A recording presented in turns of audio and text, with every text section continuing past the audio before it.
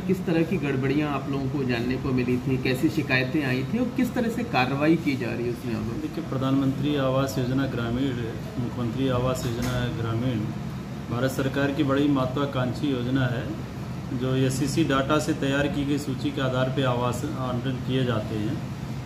लगातार हम लोग इस पर प्रभावी कार्रवाई करते रहे हैं और अभी भी जो कार्रवाइयाँ आपको प्रकरण संज्ञान में आया है वो प्रकरण ये इस प्रकार है कि बीच बीच में लाभार्थी अपने तथ्यों को छिपाकर आवास आवंटन करा लेते हैं। जिसकी सम्यक जाँच कराई जाती तो तथ्य आते हैं कि इनके पास पूर्व से ही पक्के मकान हैं जो ऑलरेडी इनके रहने के लिए पर्याप्त हैं। ऐसे प्रकरणों की जानकारी प्राप्त होने पर हम लोगों ने जाँच कराई। जांचों उपरांत ये तथ्य आए हैं कि जनपद में आवास कुछ अपात्र लाभार्थियों के, जिनकी हम लगातार कुछ, काफ़ी मात्रा में हमने वसूली करा ली है। सरकार के पैसे वापस भी करा लिए हैं। कुछ मात्रा में भी पड़े हैं। हम लोग भी ग्राम पंचायत अधिकारियों की ज़िम्मेदारी, जो चयन की प्रक्रिया है, जिसमें ग्राम पंचायत अधिकारी, ग्राम विकास अधिकारियों की अहम भूमिका रहती है, उसको हमने नोटिसें भी जारी की है। और यथाशीघ्र हम लोग यदि धनराशियाँ समय नहीं वापस होती है सरकार की तो उनमें हम विधिक कार्रवाई, अन्य कार्रवाइयों के लिए विवश होंगे।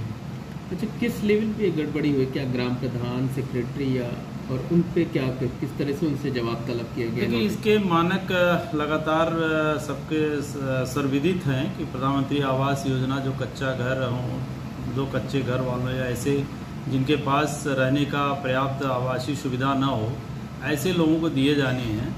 बट अगर कहीं बीच में लोगों ने बना लिया है तो ऐसे लोगों को तो नहीं मिलना चाहिए और ये तथ्य छिपा लेते हैं। ग्राम पंचायत अधिकारी कहीं दायित्व निर्वहन करने में विफल रहे हैं।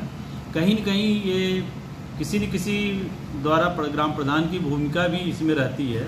यद्यप शासन ने लगातार इन भूमिकाओं से इनकार किया है कि प्रधान की कोई भूमिका, चूँकि ये आवास प्लस की सूची पहले से शासन ने इसीलिए वेबसाइट पर डाल ली है और इन इनकी भूमिकाओं पर नगण्य किया। फिर भी गाँव के प्रथम नागरिक होने के नाते प्रधान अपनी लगातार भूमिका इसमें निभाते हैं, जिसके कारण तथ्यों को यदि उनको जानकारी होती चाहिए तो बताना चाहिए सरकारी तंत्र को। लेकिन सरकारी तंत्र को भी पता करना चाहिए, चाहे वो हमारा ग्राम पंचायत अधिकारी हो, चाहे ग्राम विकास अधिकारी हो।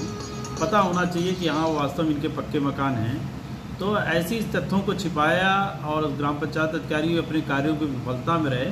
इसी कारण सब लोगों ने अभी कारण बताओ, नोटिस प्रारंभिक जारी किया है। और देन हम लोग अग्रिम कार्रवाई की जो विधिक होगी, उसके लिए तैयार हैं हम लोग। Thank you